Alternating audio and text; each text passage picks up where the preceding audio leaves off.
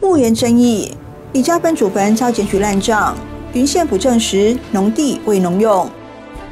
李家奔祖坟道路崩塌，传出风水会影响韩国瑜正图后，云林县府县长信箱七月二三早上又接到民众匿名检举，指控李家奔祖坟涉嫌烂账。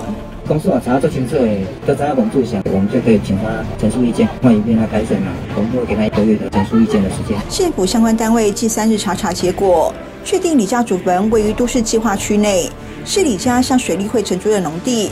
李家祖坟设置于西元两千年，适用坟墓设置管理条例旧法，私人坟墓报经公所主管机关后，依法可核准营葬。但是李家当时并未向公所申请。西元二零零二年殡葬管理条例更新后，私有土地即不准土葬。价大就要检查，我们会通知幕府，比如说限期改善。县府、政工所等单位暂定八月一号会勘李家祖坟，并函文水利会查处。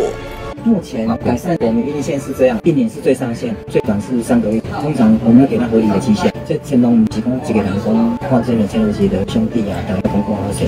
李家向水利会承租该农地行之有年，最近一次续约是在去年一月一号，租赁期限至西元二零二三年底。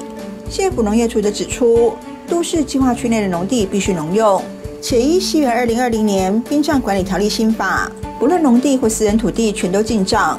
但李家祖坟土地是水利会与李家租赁关系，县府会尊重地主水利会的主张。